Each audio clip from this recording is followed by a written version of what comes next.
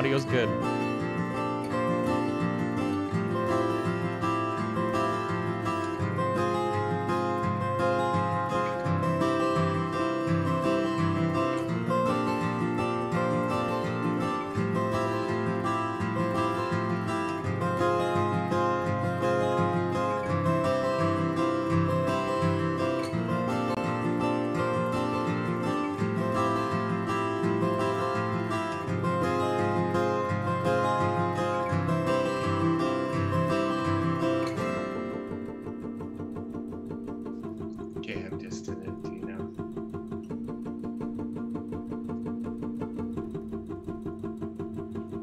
Working now? Mm-hmm. Everyone's they can hear us and see us.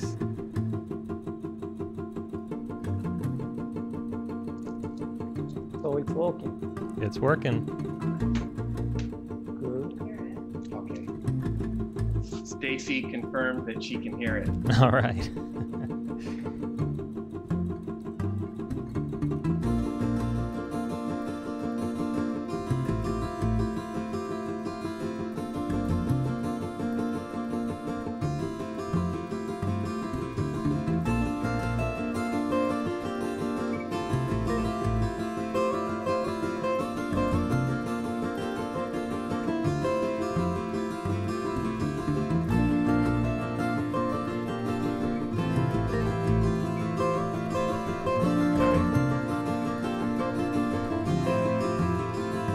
Stacy hear it?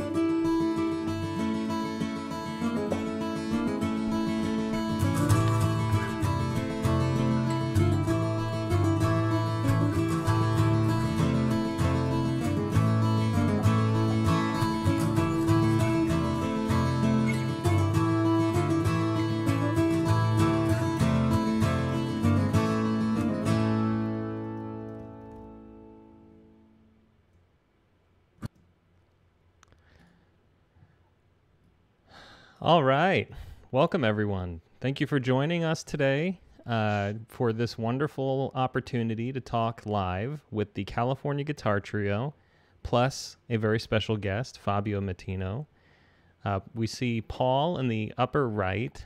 Um, hi, Paul. How are you today? Hello. I'm good. I've got my uh, Make Weird Music shirt on. Excellent. Thank you. I appreciate the pride. All right. And then we've got Fabio uh, on the lower right. Fabio, say hi. Hi. Hi. All right. And you are out in Rome or Milan? Milano. Milano. Okay. Milan, Italy. Thank you for joining us uh, pretty late in the evening. I appreciate it. Thank you. And then we've got Bert hailing from Florida. Bert, please uh, say hi. Hello. Hello, everybody. Hello, everybody. All right, and it looks like we've got about 64 people here right now, which is great. Uh, that's really excellent, and I think is a testimony to your uh, fan base and their dedication. So uh, thanks for getting the word out, everyone. And uh, last but certainly not least, uh, Hideyo Moriya. Hello, Hideyo. Hello. Hello, Anthony. How are you? Okay. Excellent. And you're over on the East Coast somewhere, right? Ah, yes, I near the Philadelphia. Oh, Philadelphia. All right, cool. And I am out in Phoenix. And uh, if you if you guys are able, uh, you're welcome to pull up the YouTube uh, the video itself, and you can see the live chat, or I will just uh, bring questions up. But uh, it's up to you. So thank you again to everyone who's joining us.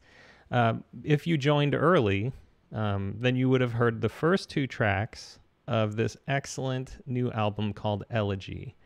So um, I particularly love the first track, Halistusilmad. uh, who can help? Halita Oh, is that how you say it? Halita okay, so uh, Paul, do you uh, do you want to share kind of the story behind that track? Yes, uh, uh, that track is written by an Estonian composer, Argo Vals. And the, the backstory on that is my wife, Stacy, who's here with me today listening. She was driving uh, in Los Angeles in her car, and on KCRW, one of the, the main stations that we like to listen to here in LA, and also big supporters of CGT in the early days, she heard this track and came home and was excited about it and said, "Listen to this. This sounds like something that's right down your guy's alley. This sounds like something that uh, uh, could somehow." She, she didn't know at that point. She just liked it and thought it sounded like our style of music, and so I checked into it uh, further and I bought the albums from Argo Vals. And it turns out that Argo Vals is a, a friend of ours from guitar. Uh, he uh, is friends with a, a, guy named Robert Jürjendal, that's one of our guitar craft friends, and they played together uh, in Estonia. And so the the more I listened to that track, uh, the we uh, I, I, had the idea that we could do something with the group together, and Hideyo helped make the arrangement for this one. So Argo Vals sent us the score for it, but Hideyo, and also some help from Bert too, but Hideyo was the first one to really take a look at all the parts and see how we might arrange it as a, a group. And it, it went through several mutations over time. We initially did a recording with our friends from Tiny Orchestral Moments in Seattle, um, and then ended up deciding we wanted to do the, uh, a, a new recording just with CGT, and that was pretty good but it wasn't quite enough. So we invited Fabio to contribute some electric guitar on it. So there's a few layers of Fabio electric guitar playing on that one too. I really love that track. Um, in fact, as soon as I heard it, right after I purchased the album, which everyone should purchase this album, uh, and you, it's pay what you want right now on Bandcamp. So you can just go to cgtrio.com and then there's a link to the to, to the purchase page but go purchase it and spend a lot of money uh, on this because this album is awesome um, you know i've been buying a lot of albums lately which is uncharacteristic for me uh, just because there's so much music to listen to at all times. You know, it gets a little overwhelming, but I immediately regretted only paying ten dollars for this record. So I need to. I I will gift uh, I will gift someone on this um, stream a copy uh, where I will pay additional money for it. I don't know how we'll make that work, but we will. So somebody just buy the album or ask me to buy it for them um, in the stream chat. Uh, anyway, so Fabio, Thank you. yes, it, it is is really. I mean, this is excellent. This album to me is your best album. Um, it's it's very contemplative. It sounds fantastic. Uh, the mix is great. Everything. uh, The songs are really. Um, I feel like they're just deeper. I mean, there are there's there's Get Back and there's the surf uh, song on there, and uh, there's you know it's de- definitely it captures the CGT live experience pretty well. But a whole lot of these songs are really deep, meaningful um, recordings, and it reminds me a lot of the work that Bert and Fabio have done uh, with their albums of uh, Thomas de Hartmann and and uh, Gurdjieff music. Um, so I don't know if you have. Oops, sorry. I don't know if you have any sort of insights there, Bert or Fabio, into how any of that stuff carried into this these performances, or any background stories from anyone about how this was recorded. I know it was on the road, so share anything. Well, it, it, it's, it's for me, it's a very different project. But the thing that's uh, that's common with Fabio's and and music is that it's mostly all music written by other composers, and uh, we delved really deep. And I think uh, one of one of my favorite tunes on there is the Radiohead tune, and uh, that's also another arrangement that Hideyo came up with, and with the the circulation style playing with the trio it's really featured on this album and it is i think one of the strong points. And it's something that always draws the audience in when we play live is the circulations. You can just feel it when we play circulations. People are are, are just something comes back at us from the audience. It's very amazing. And i think uh, there's a lot of pieces in there that feature the circulation style. And, and i think that helps uh, what you mentioned about the album. Uh, I don't feel that much in common, but maybe Fabio, Fabio has something to say about that. Well, uh, I mixed mixed both albums, so maybe maybe there may be a similarity of uh, the way uh, it, the mixing uh, was made, and of course the sound that um, as a result of all the all this work. And uh, i must uh, i must say that it's very easy to work with the cgt because uh, they are i mean th- there were not uh, it was maybe because we we both uh, came from, uh, from the same background, so we know uh, how we would like our guitar tone, uh, and but the approach was of, of for this album was quite um, simple. We, they just recorded with good mics and and basically I, I just have to make it uh, sound as best as I can and uh, I really like how it uh, how it sounds because it feels quite natural to me and uh, feel like true it yeah that I think is the word for this album true uh, it feels like you're you're in the room listening to these guys playing about three to five feet away from you. There, there's not a lot of reverb. There's not a lot of ambience, or uh, there's not a lot of like effects like on some of the older albums. Uh, the guitars are very true to their actual sound, and it, it, I feel like you can hear the bodies of the guitar, and you can hear the the clothes rubbing on the on the guitar, and the fingers moving, and the string sounds. Like I just love how as a guitarist myself who really appreciates a good acoustic recording, I really love the way this album sounds and projects. Uh, we recorded the, the whole. Oh, go ahead. Go ahead, Hideyo. Okay. Uh, from the beginning uh, of this recording project, uh, Fabio helped us uh, with uh, which gear we use. And uh, you know, it's not expensive one, but uh, we uh, use moderate, but sounds good. Also, I myself and Fabio using a Studio One, the software for the recording. So some common thing is there. So it's from the beginning, his help is a lot. Well, you guys did a great but, job. Yeah. You really did. It sounds excellent. Yeah. I would like to oh. add that we, I think that we really found a nice way to work, and uh, it was uh, easy also because uh, Hideyo, as I just said, he was using the same software that I used. So he, we basically he ex- we exchanged at the beginning the project, uh, the whole project. So I already had all the tracks, and um, and that make the process uh, more fast, quick, mm-hmm. and even if there were some correction to do, was uh, was very straightforward, and uh, it was really nice. That's great. Basically, as it should be. Right. very uncommon.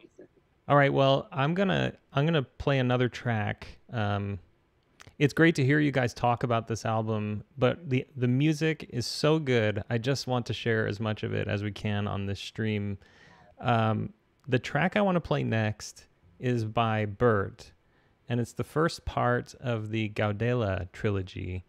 Uh, Bert, do you want to provide just a little bit of background on on this set of pieces? Yeah, uh, so they were commissioned by the uh, promoter of the festival in Gouveia, a, a, yearly festival that we were invited to this year, and uh, he gets funds by the city of Gouveia, and uh, they he he wanted us to to uh, compose something that was uh, dedicated to their city, which they're so proud of. So we went to work, all three of us, and we each came up with some ideas. And then we, we got together uh, just like a month or two ago at the end of our tour in Canada and worked exclusively on those three pieces because that was the that was the only thing that was still missing on the album. And uh, each day we worked on uh, refining my piece, Paul's piece, and Hideyo's piece.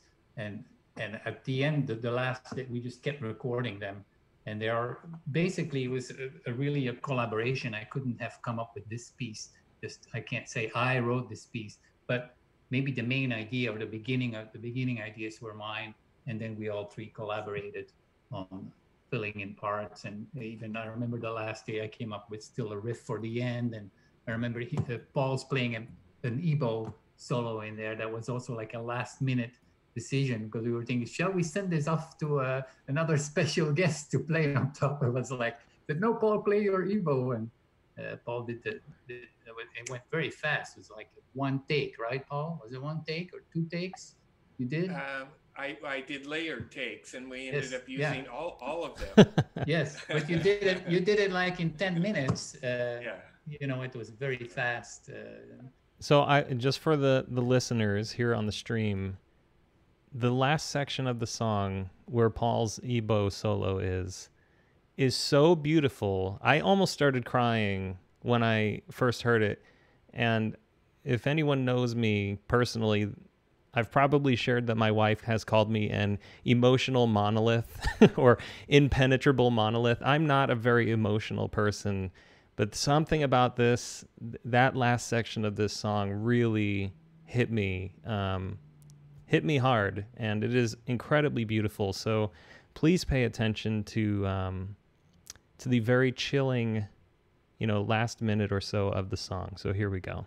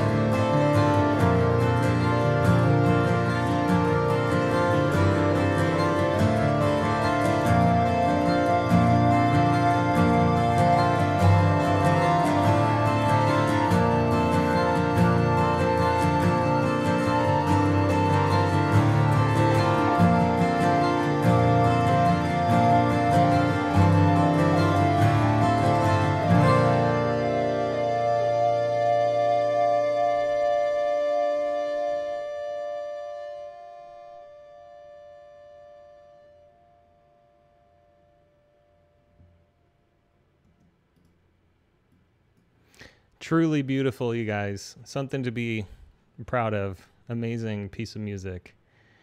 Uh, so yes, thank you for for making it really just stunningly beautiful. I'd like to go through some of the um, fan submitted questions. So um, let's see. Are you guys able to see any of the YouTube chat by any by any chance?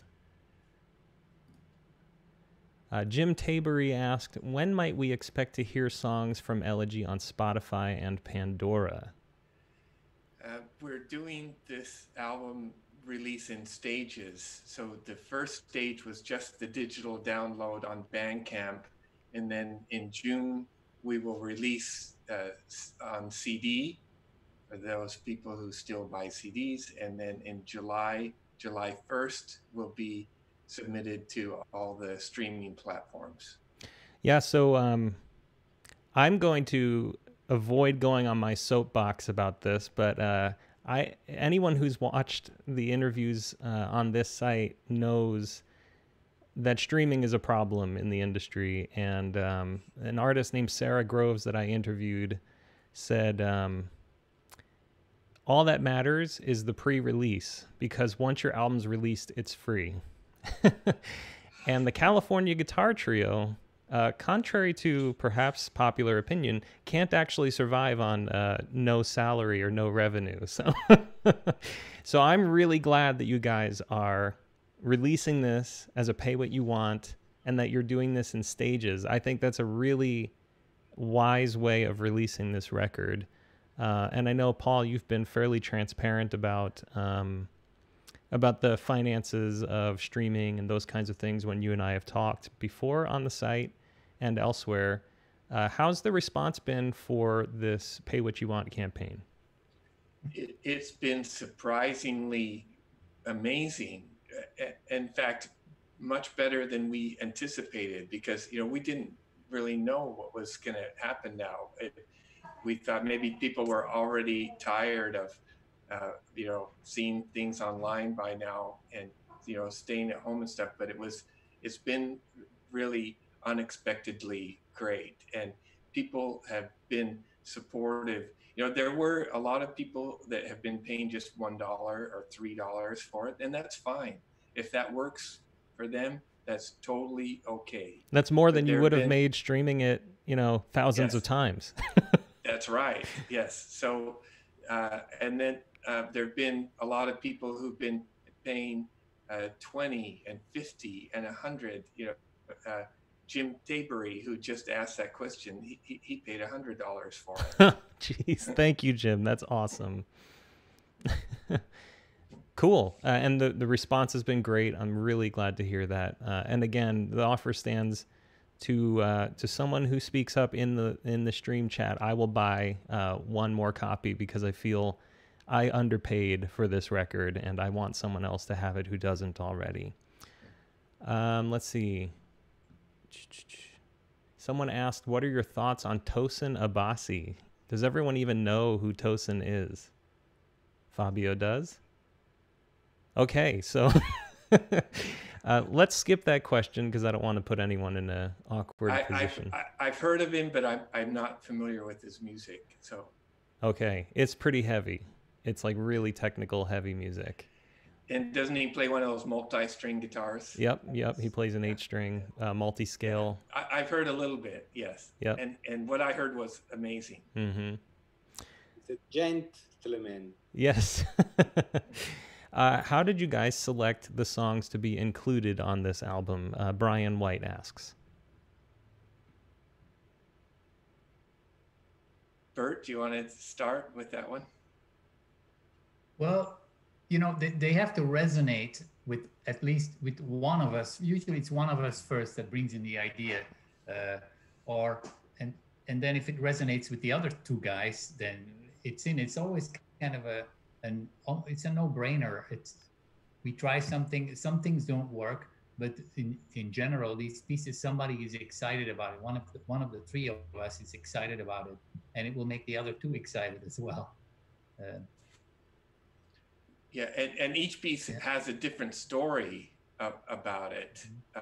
Uh, like, for example, we were talking, Bert mentioned the daydreaming uh, piece, and that one had several different aspects that uh, things that happened behind it. Uh, yes. So, uh, firstly, I'm a huge Radiohead fan, and I when that that latest album called Moon Shaped Pool came out, that was one of my favorite tracks.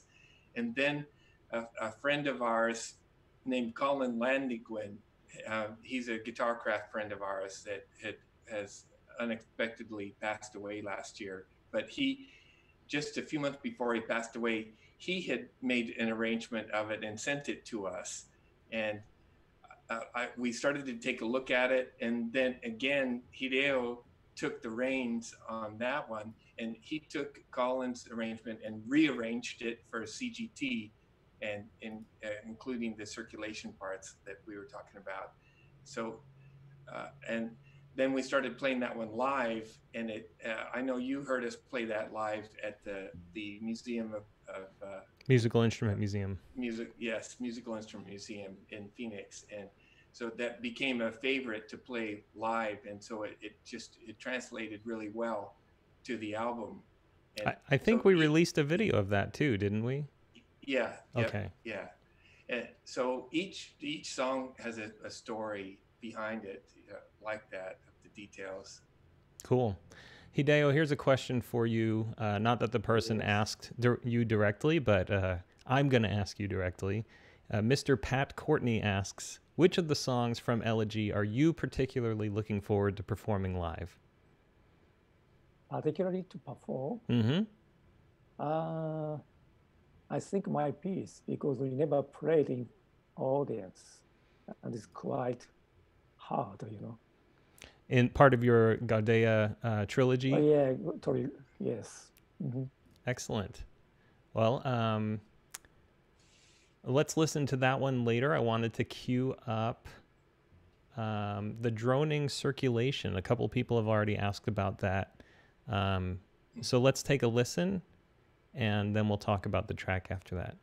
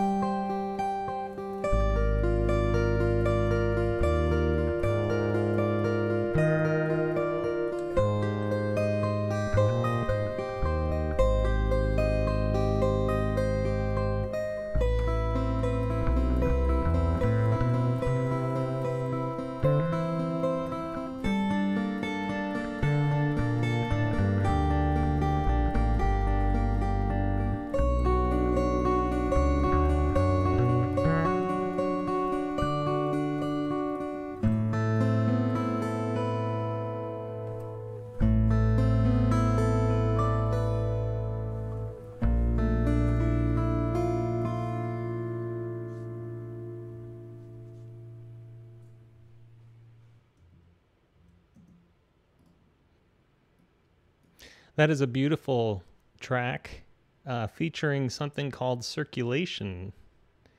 And uh, Rich Hilton, who is a an amazing musician, uh, he commented on the hocketing uh, of that track. So I'm curious, do, are, are you any of you familiar with hocketing? Yeah, Paul? Is there a difference between circulation and hocketing?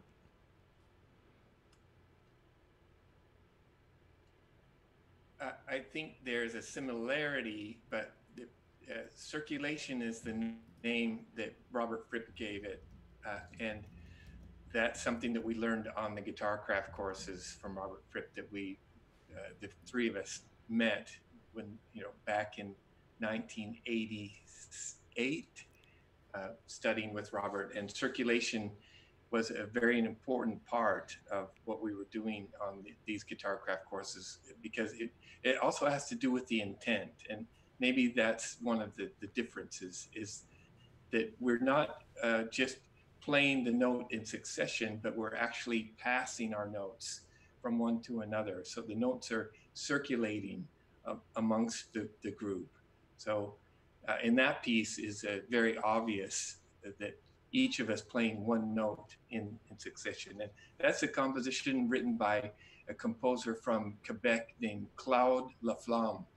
And we met him the last time we performed in Quebec City. And he, we get lots of people saying, oh, please, you know, play our piece or, you know, a lot, we get lots of suggestions, but for somehow we made a connection with uh, Claude and we listened to his piece and uh, had this idea to do play it in circulation form, and we recorded it in one of the Airbnb houses. I think that one was recorded in Bryn Mawr, Bryn Mawr Pennsylvania, yes. near Hideyo's place, and then we sent our recorded tracks to Tony Levin, who is just did a spectacular uh, overdub part that it, which is not easy because we're not playing really uh, perfectly in time. We're slowing down and speeding up, and Tony was able to adapt his part to that uh, piece. And we just on uh, Friday we released a video of that track that was done by a, guitar craft friend of ours named Howard Snyder, who's an expert nature photographer, and he did some incredible droning footage and made a, this video that goes along with that piece that fits perfectly. And that video is on your uh, YouTube channel? Do you have a YouTube channel? Is that where they oh, find oh, yes. it? Yes, and okay. on our Facebook page. Okay, cool, cool. Uh, you know, as I've yeah. listened to that and some of your other circulation pieces, like the Bach pieces, um, how do you do you guys write out the sheet music and then you learn each part? Or do you sit in a room together and kind of share the same score and, you know, assign notes? Like how how do you do that? Because I listened to this piece thinking this is another one of those ridiculous how how do they do those? You know how do they do that kind of moments? Uh, so i'm curious how do you guys assign parts and how do you learn them? And is there sheet music involved uh, i made a tab for the CGT. I arranged it as a circulation, and uh, each part, you know, Paul and the part and myself, there's a three part, and uh, also there's some bass part which is very simple one, and Tony Levin played uh, just like as he feels. So kind of uh, it's his improvisation on top of the, our circulation. So do you hand out um, kind of all three parts at once so everyone can hear the whole thing together, and then then you kind of just learn your part? Uh, no, there's a recording from uh, recording from his uh, album. So we listened his playing and then kind of uh, imitating how he plays. So every two bars, he kind of slow it down which you can hear kind of in the breathing in the music. Mm. That's beautiful. Claude, Claude, plays this on solo guitar, on acoustic guitar. Oh, okay. That's the recording in this. And do you do you guys compose pieces uh, that way, kind of do, do you ever have pieces that come out of a circulated improvisation? Yeah, uh, in the past we have done circulation, improvised circulation pieces. In fact, on our album Andromeda, there are several Mhm. circulation, uh, uh, improvised circulated pieces, pieces that came out of improvised circulations.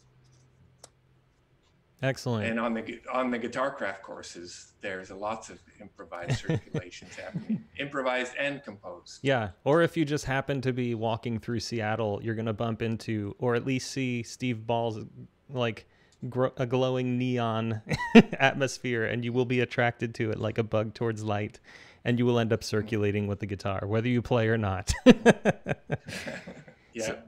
so earlier, um, Hideyo mentioned he's most looking forward to playing his part of the Gouveia trilogy called Mondego Rio da Esperanza. Uh, what does that mean, and uh, how did that that piece come about? Uh, Mondego is a river from uh, Gouveia into the Porto, I think. The big river and uh, the Rio, uh, Rio de Esperanza is like a hope Hmm. of the river of the hope, which you know, into the you know, ocean. So I I felt like something you know there's some uh, hope in there. and uh, I wrote piece. It's basically three part. One, uh, well, first part and the uh, first part is kind of you know adventure, and then uh, in a later kind of uh, hope is in uh, in in the piece in the, in the later part. kind of Wonderful. half. Mhm. All right, well, let's take a listen.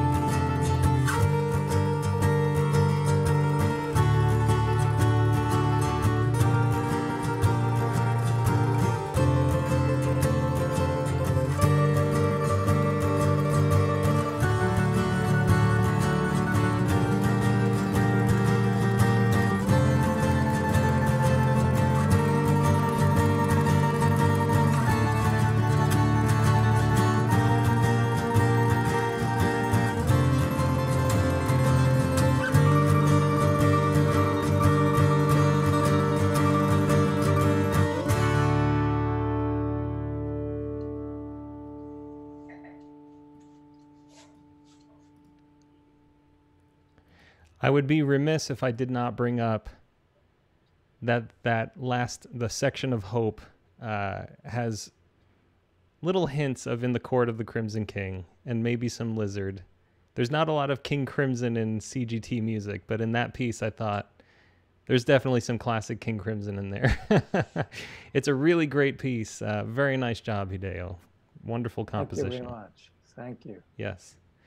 Uh, so there's a bunch of questions coming in, and a lot of people are um, pretty excited And about I, this. I, I'm looking at uh, the the questions too, and I uh, I saw that. Uh, let's see, Patrick Courtney was asking about the album cover, Yes. which which uh, I'm happy to say is all made from my photography work, and it's a design by Gary Banfield from Tour Bus Live, who have helped us with our last few CD covers. But it, it's kind of a collage of different photographs.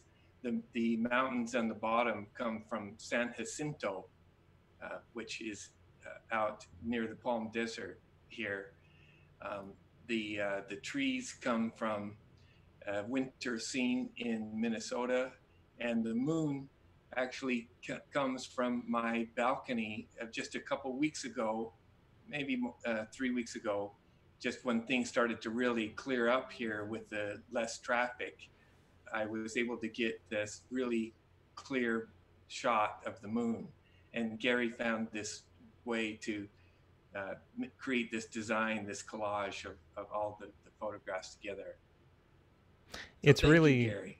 Yeah, it's a wonderful cover. And for those who don't know, Paul is a really great photographer. Uh, and as much as I enjoy the CGT music, I almost as much enjoy Paul's Facebook and Instagram stream when they're on tour.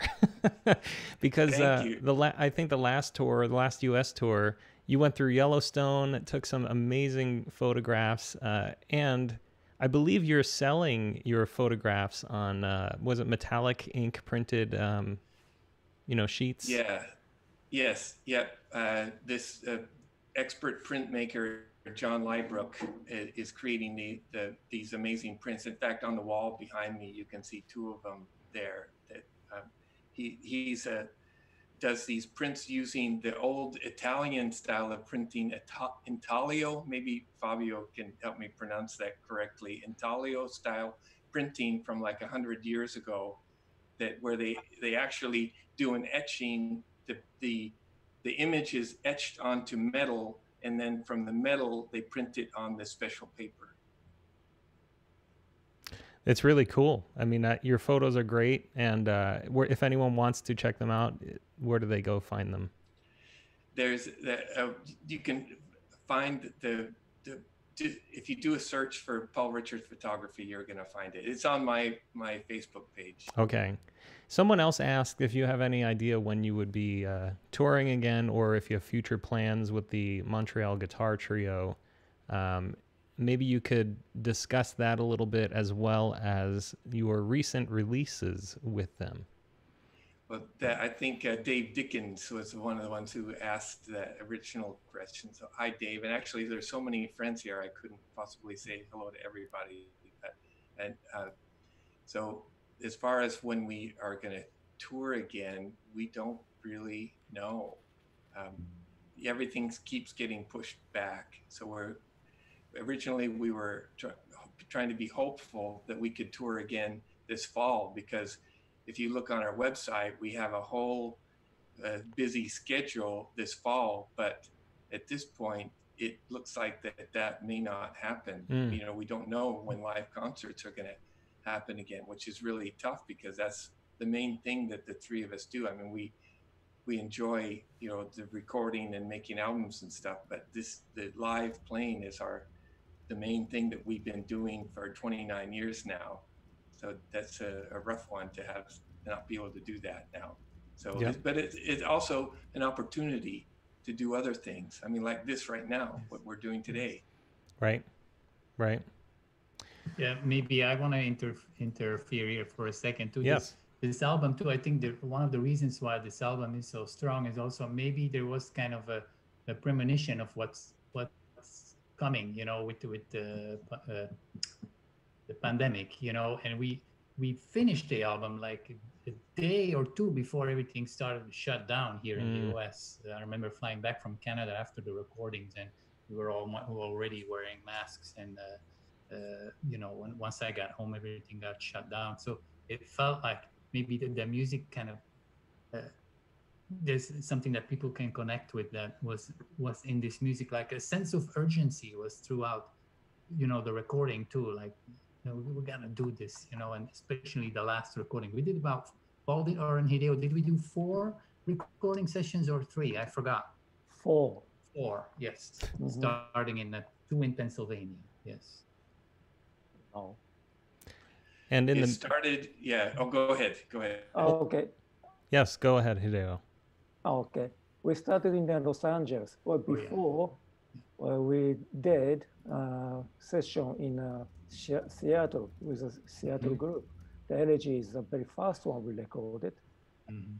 And then we moved to the Los Angeles, Airbnb, and then Bryn Mawr, Pennsylvania, Chicago in December, and then Montreal in February.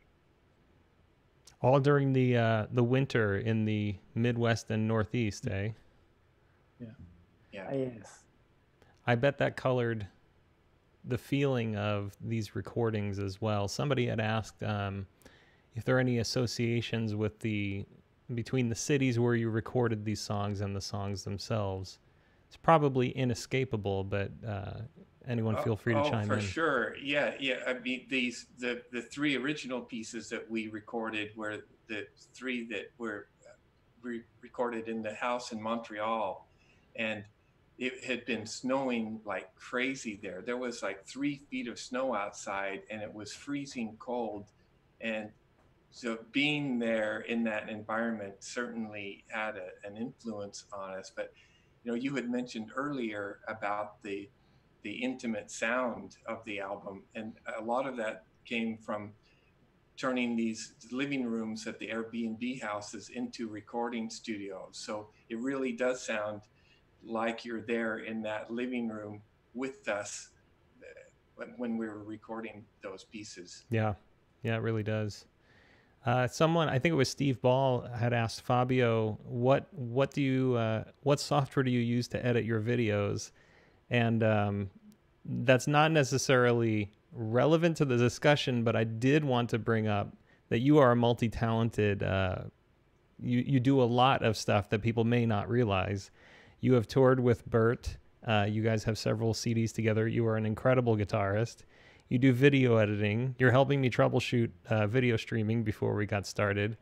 Um, so, uh, Fabio, did you? Um, it, can you talk a little about your response to this music and um, maybe through some of the tools you use? You know, for some of the tech nerds like me uh, and others who are on the stream. Okay. I didn't understand. Steve was talking about the video. Uh, which video? Uh, well, there was the. Didn't you guys do a Get Back The video? Get get back, yeah, yeah. Fabio did the get back. Well, uh, to reply to Steve, uh, well, hello, Steve.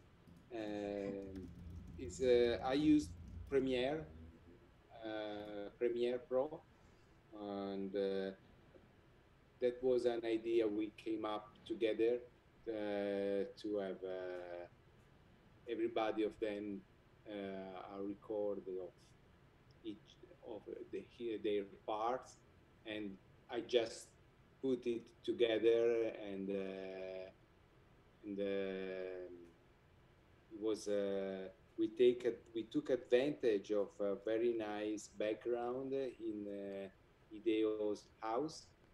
He has a beautiful cherry tree and uh, so uh, I'm sure that Hideyo could talk more ex- uh, extensively about that, but uh, it, it actually uh, fit to me uh, a lot because uh, as Ideo was suggesting during an email, and this is really something that he struck me is uh, that uh, cherry blossom is a message of hope, and uh, especially in this uh, in this uh, period, this is what is needed. And uh, so also the get back, it could be seen as a let's get back to the where you are. Yes, and to the to the to our uh, normal life of of what we call we used to call normal. yeah, absolutely. I think it's great. And uh, for for those who also may not know, Fabio has some excellent music. He has a, a new record, uh, which is called Simple Music for Difficult People, Volume 2, I believe. Um, it's volume three, yes. So this is the third volume of Simple Music for Difficult People. Uh, I think he wrote that title for me when I read it the first time, but I'm sure it's targeted at many of us. uh, but before we before we go, um, I, I, do want to play one more song and and have one more plug of everything. But um, it is it, we are acknowledging we're in this kind of weird period of the pandemic and. I know that Fabio and Bert are giving guitar lessons. So if anyone is interested on the stream, you know, find them on Facebook, reach out to them. Extremely affordable for incredibly talented guitarists. Paul and Hideyo, I don't know if you're doing anything similar, uh, but you know, feel free to chime in if you are. Otherwise, just reach out to Bert and and Fabio on Facebook. Yeah, I've been working on my photography work. And then also one of the things I've been doing here at, at home is I actually tuned two of my guitars in uh, old standard tuning and have been learning songs that I never learned before that I always wanted to learn. I've been playing 30 years in this guitar craft fifth tuning, and now I'm learning Beatles songs in standard tuning, which I, I didn't do before. so most the thing that most you know most guitarists end up doing you end up doing 30 years into your career yeah. but using the techniques that i learned yeah yeah robert and everybody and, but i also want to make sure we acknowledge that today is mother's day and say you know happy mother's day to all yes. mothers out yes. there and uh, make sure i'm sure there's a few on in the audience here today too yes. so Yes, happy Mother's Day to all of the mothers. And uh, happy birthday, Eileen Bunch. It's her birthday and she's in the stream. Oh, happy birthday, Eileen. Yes. All right, so let's close. Um, let's close with this song, Cavatina, and let's play it for Eileen's birthday. And uh, Paul, what's the name of your dog there? This is Jasper. Hi, Jasper. Hi, Jasper. All right. Well, uh, happy birthday, Eileen. Happy Mother's Day, everyone. Please go to cgtrio.com. You see the URL in the lower right and pay what you want for this new album. It is truly excellent. Please throw as much money as you can uh, their way. And, um, and again, thank you to the California Guitar Trio for and Fabio for joining us today. It was really a pleasure to listen to your wonderful music and to hear uh, you know your thoughts on some of these songs. Well, thank you for taking the time to do this, Anthony. We always enjoy seeing you and hope to see you at the the museum again at yes. the, the next time CGT gets to play there. Absolutely. All right. Thank you, everyone. Thank you. And thanks to everybody for Thank joining you. us. Thanks Thank for you. the questions. I'm sorry we couldn't answer everybody's question. Maybe we can do it online.